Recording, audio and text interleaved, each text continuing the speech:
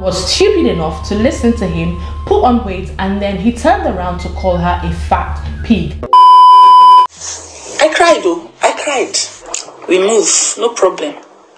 No problem. Hi people, welcome back to my channel. It's Tricia the Storyteller. Yes, I need not explain who I am. From the channel name, you can tell what I do around here. Yes, I bring you stories so you can learn from it. I can learn from it so we can talk to each other. So let me commence this video by saying if you're here to sort of throw insults, throw shades, use abusive languages on me or anyone on the comment section, be rest assured that I came prepared. I came ready for you. I am used to trolls like you. So beware and be warned. Yes, so for those who've come to sort of rub minds, let's talk about what's going on and have an adult conversation. A virtual hug to you. Yes, we will talk about it and learn. Now, he was jealous of their new body. Mm, yeah, we said that. He was jealous of the new body. Was he? Let's talk about Chanel. Okay, Chanel Boateng. Now, Chanel, my beautiful model.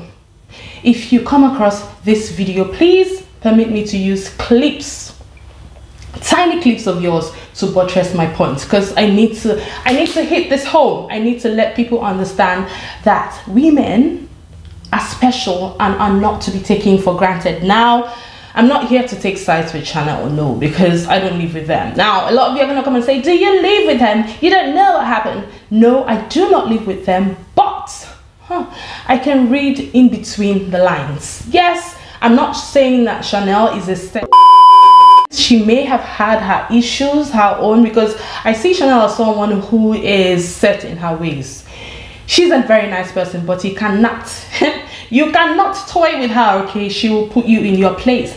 And sometimes women need to be like that. We need to be very tough sometimes because I think there's this notion that it's a man's world and sometimes women are taken for granted. Now, we may never ever get to hear from Ambrose. Never. He may never come out to make a video explaining his own side of the story. But we're going to dissect whatever was said from what Chanel Boateng told us. And, you know, yeah, let's get on with the video. Let's go for a short break and I'll be right back.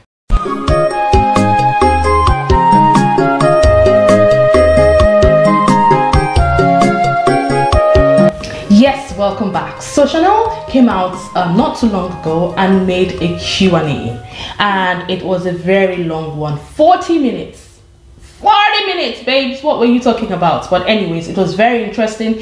She had a lot to say about her patreon page about her new business like obviously what's going to happen with the channel going forward about her new life as a single mom about her new body which people are jealous of. People cannot stand the fact that chanel went from this body to that body yes and that could be one of the reasons. You can already tell from the title of the video that that's what we're going to be talking about. Two things that i'm going to talk about so this video isn't too long. Now i'm going to insert that part that little part of the first clip of what chanel said.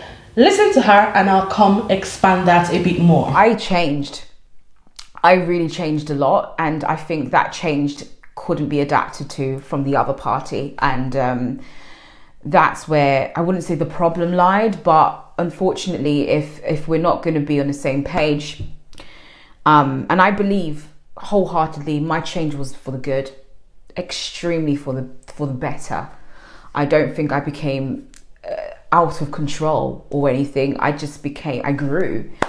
Um, and I became, I blossomed and glowed, and and and and and and it wasn't processed or taken well. So yeah, Chanel said there was a lot of change. All right, there was a lot of change, and he could not cope with the change.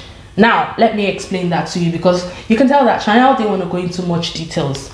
Now, I think these are insinuations. So, leave your thoughts in the comment section. Tell me whether you agree with me or not. Because I'm married, I always say. Marriage is a beautiful thing, but do not get it twisted, all right? Yes, thank you. The thing is, I think that there must have been back and forth communications about Chanel wanting to, you know, lose the weight. All right. Now, remember that Chanel is Ghanaian, married to a Nigerian.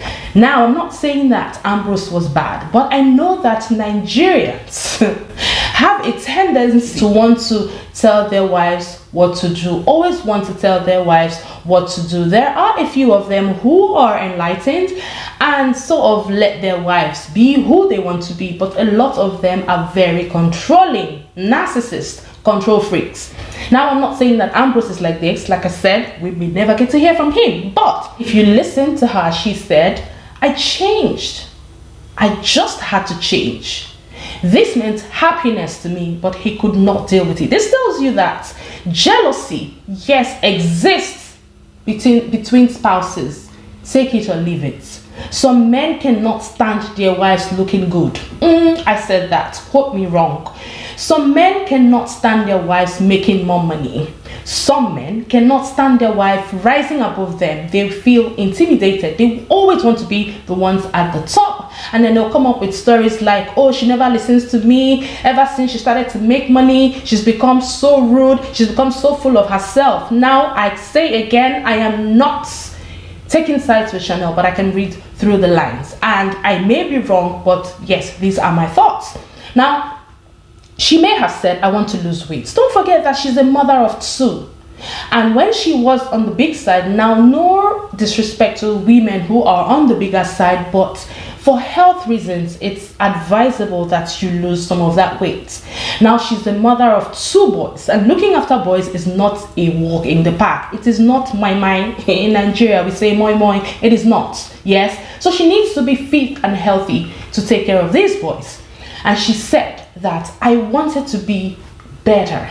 So I decided to lose the weight. Now I'm thinking that the weight must have been one of the reasons why Ambrose may not have. Okay, let me say this another way.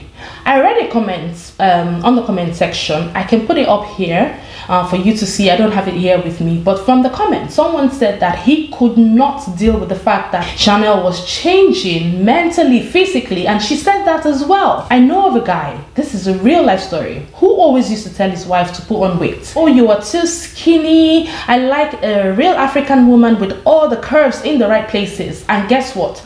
That woman was stupid enough to listen to him, put on weight, and then he turned around to call her a fat pig. Now, no disrespect to bigger women, but I know what I'm talking about. And you can see that Chanel is so happy with her new body. Mentally, physically, she looks happier. And she said, I am free like a bird to do what I want to do now. That is the point I am trying to make. Now, a lot of men think that once their wife, you know, loses weight and begins to look good, she might become promiscuous. She might begin to cheat and they begin to have all these insinuations in their head. And the moment you pick your bag and you leave the door, they call you, Where are you? Who are you talking to? That drama begins. Now, I'm not saying that women, some women are not promiscuous, but I don't see Chanel as someone who is a promiscuous woman. I see her as a girl who loves God. Yes. And who wants to worship God with all her heart. Now, what I see on camera may be different from her lifestyle behind the camera, but these are my observations. I just feel like she's healthier, she's happier, she's more prosperous, and if you cannot deal with it, you don't love her, you'd better get her out of the door. Now, the next part I'm going to talk about before I round up this video, because I don't want it to be too long, is the part where she talked about the church. I'm going to insert that clip. Chanel, please, one more time, permit me, and I'll be back to conclude. Did the church support your divorce? I just want to make people guys know if I've never shared before, the church that I met Ambrose in, I actually left that church just after I had AJ. Um, so that's over five years ago. I haven't been going there. He continued to go there, of course. Um, so, in terms of their opinion on our divorce, I have no idea if they even know. And quite frankly, I don't care. Um, whatever. I'm not. I don't go there anymore. I'm here to tell you right now, we don't care. Let me tell. Right, let me tell you. we don't care. You heard from the horse's mouth again. Now, she said she left that church when AJ was born. Yeah, if I'm not mistaken. And this is five years on. And she said I don't know whether they know about the divorce, and, and at this point, I don't what care. Now, if you listen to her carefully, you could tell that there was a resentment in her voice when she talked about the church, but she didn't want to say much. She didn't want to go into much detail. Yes, and that shows maturity. Now, I was also in this setting where once you leave them, these churches, for instance, I'm trying not to go into too much detail. If you leave these churches, they forget all about you. They don't care about your progress. They don't care about your family. They don't care about anything that concerns you. The moment you step out of the church, you become an outcast. I don't even want to use the word you become an enemy to them because they look at you now as mm, they don't care. It happened to me, I was there. I served a church for 20 years of my life. Take away 20 years from however old you think I am. And when I left that church, no one cared about me. I had a baby, none of them, you know, so even gave me a call to say, How are you? And I'm glad that Chanel discovered herself, discovered who she was, made herself happier, and moved on. Now, Chanel, I'm not saying that you are a saint. You may have had your shortcomings. Like you said, no one is perfect. Of which you have said that if you go into another marriage tomorrow, there are things to look out for.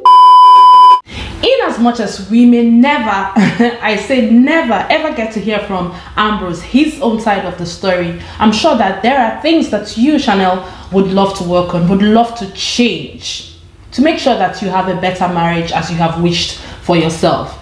Now, friends, let me know what you think in the comment section. Do you think that actually Ambrose could not stand the changes, the changes that came to Chanel? Or do you think that there may have been something else that led to this divorce?